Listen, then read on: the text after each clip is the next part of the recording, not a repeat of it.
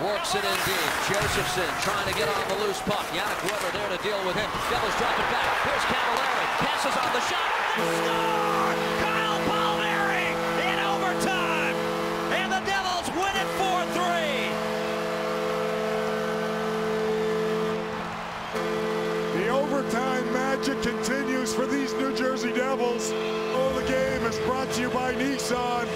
And it's going to be the game winner in overtime.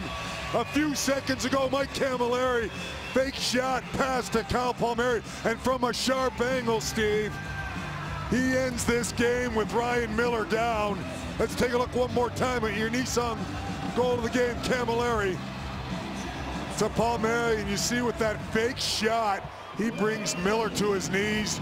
He's out of position. Kyle Palmieri puts it home from a sharp angle. What a hockey game fifth goal of the year for Kyle Palmieri. Keith Kinkaid with his seventh career win.